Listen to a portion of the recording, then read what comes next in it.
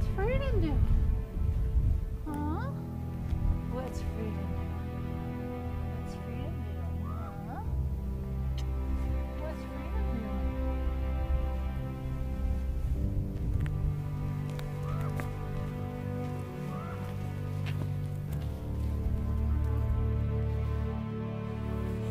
do? So I have vowed to no longer complain about the cold because everybody living north and east, oh my gosh, I feel so bad for you.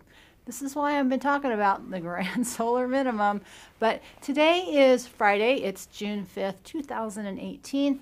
As you know, my name is Jill, and I want to start doing the Friday videos where I just kind of talk to you because it's really hard to not just want to talk to you, but most people don't care. And so I think the other videos will be contained in and of themselves. And uh, once a week or so, we will sit down and have a little bit of a chat. And so there's just a couple things I wanted to go over. And I wanted to say uh, more clearly thank you so much for everybody's uh, support and well wishes and thoughts about this last week. I've kind of been in a fog since the beginning of December when I figured all this was going on with the cat. And so I feel like I'm just starting to wake up again, starting to see what's going on with the world again, seeing all the mess I've created and have not dealt with in the last uh, month. So uh, I am coming back to life, getting refocused, ready to begin our journey again with a little bit more clarity in my vision and my thinking. And so, uh, a couple things. One, YouTube is at it again. They're demonetizing everything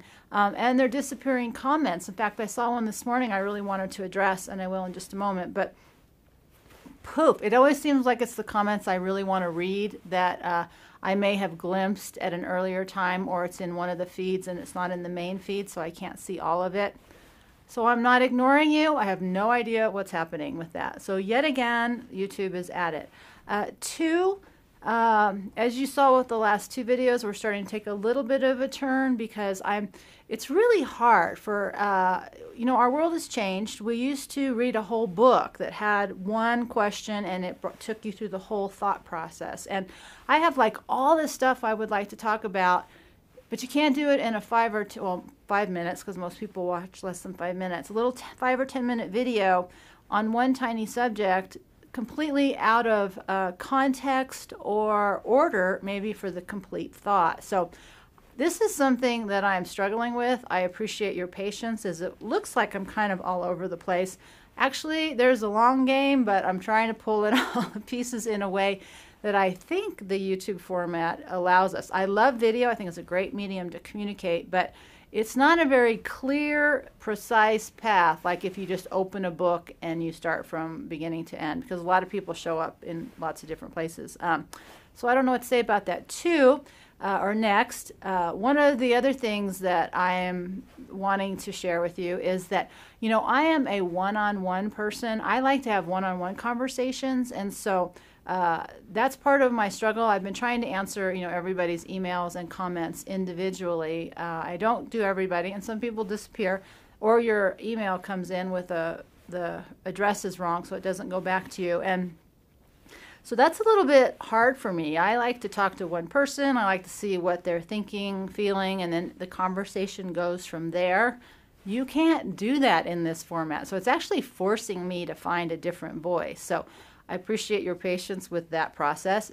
Really interesting, though, um, which brings me sort of to the next thing, which I touched on in the last video, and and that's one of my concerns is you know this kind of relationship, and uh, so I you know want to toss that out at you that it's. Uh, that it's you know the more I read about artificial intelligence, the more I read about the business plans of social media and the history of social media, the more you know the the veil is lifted. It's about consume, consume, consume.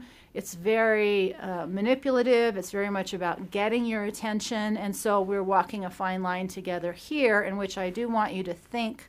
Uh, I want to ask questions. I do not want to manipulate you into uh, paying attention to my thoughts and questions. And so we're in a very interesting world where we've always gathered information. So I don't think we should down uh, to uh, negate communication and information gathering because you know it started with you know, one on one conversations in small groups. People went to lectures, people read books, uh, people sought other people out. So it isn't a new idea looking to each other to exchange ideas, it is in a new form that is now being heavily manipulated and crafted.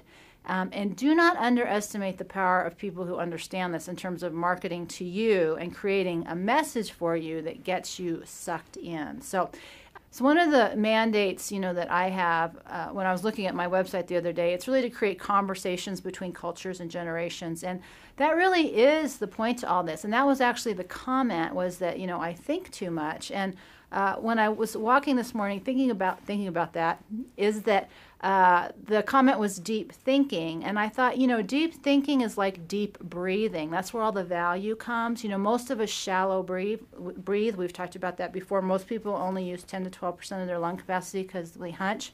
But deep breathing, you know, in for four, hold for four, exhale, it's only when oxygen gets down into the lower lungs and cleans out the old air that actual healing and health benefits occur. Shallow breathing just really sets off the stress response. And I thought that's a perfect analogy for shallow thinking that's manipulated by fear techniques, that's manipulated emotionally. All the things that people do to ga- capture your attention is very shallow and creates that stress response, which creates, you know, more fear, more anxiety. And people like to sell you things when you are fearful and anxious. And so it's deep breathing that calms you down and brings you health, which then creates deep thinking, which really allows you to see past the superficial. And and so you know, there's a lot of big stuff happening right now. You know, the the grand solar minimum stuff I think is going to start to be more prevalent as we're getting our first little inclinations about what that might look like. Uh, you know, there's constant political upheaval, there's war, there's economic issues. Even if some people are having a recovery, other people aren't. Uh, there's our individual lives. You guys have shared tremendous stories about what you're going through, and there's just a lot going on. But it's easy to get stuck in the fear, stress response of all of that. And so, uh, part of this very slow, gradual process in terms of having a video conversation as opposed to reading a book is how do we look at all that stuff without freaking out, which shuts us down, or putting us in a high state of fear, which then creates a, a very marketable opportunity in which to suck you in? Um, versus we have to think about it a little bit or you're pretty much left with your pants pulled down. So uh, that is kind of the thinking process that goes on with me and it's not anything i completely understand. I kind of think we're in new territory. Uh, it's it's being uh, some people are really good at it other people are still learning it uh, so for me kind of the final piece to all of that is is whenever you write uh, an email or write a comment i actually get a tiny uh, energetic signature. So i get a sense of who you are and i do feel connected to you. I can see you in a little tiny way. Um, and so for me, there is an exchange, um, but it isn't the kind of exchange that's very satisfying for either side because it's not a real exchange. But, you know, I want to say that so many people do public things because they want people to pay attention to them because the energy is coming to them and that fills them up and makes them feel good. And uh, the truth is, is it makes me feel very uncomfortable. Like I said, I much prefer a one-on-one conversation, but uh, we can't do that here, but I, you know, I want to share with you that I'm not doing it because I want you to pay attention and listen to me like I know what I'm talking about or thinking about. I do it because even though I don't do well in groups, complete shutdown in groups, I'm okay in this kind of format or standing in front of a, lot, a large amount of people, uh, but not interacting in a group level. So this allows me to share with you ideas that I hope will start the conversation, even if it's in your own mind or with another person, because to me, that's the best way I know how to care about other people is to give what I have. And what I have is, as that one guy said, deep thinking um, about a lot of stuff, but trying to present it in a way that's gradual and not overwhelming, that really starts the conversation. And to me, you know, what I talked about last time is love, strength, and suffering.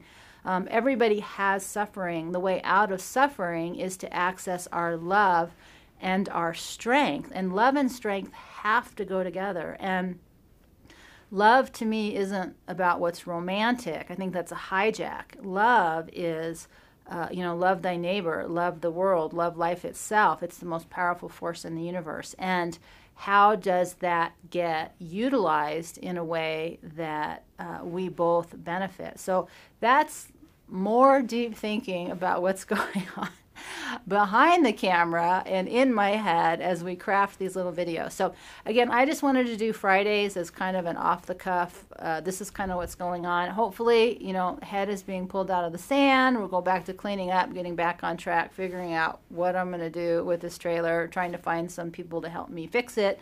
Uh, there's lots to be done. But I just wanted to stop in and say thank you again for sharing this journey with me. And we'll take even another deep breath as we go away here today. And I hope you'll rise with the sun in your eyes, love in your heart, feet firmly on the ground as together we walk on Survival Road, one step at a time. I hope you will live free and die wild, and I will see you next time.